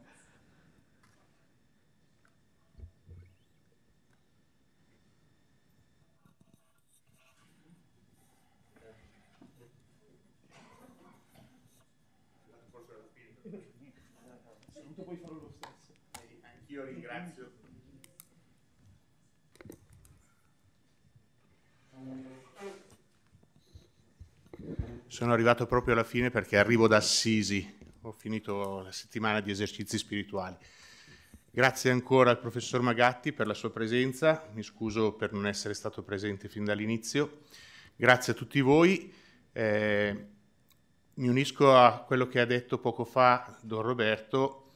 Credo che questi incontri ci, ci invitino davvero a continuare a lavorare, eh, a pensare dei laboratori eh, dove eh, il nostro pensiero e il nostro mettere insieme eh, la passione, l'attenzione, eh, la cura, la cura per il bene di tutti, per il bene comune.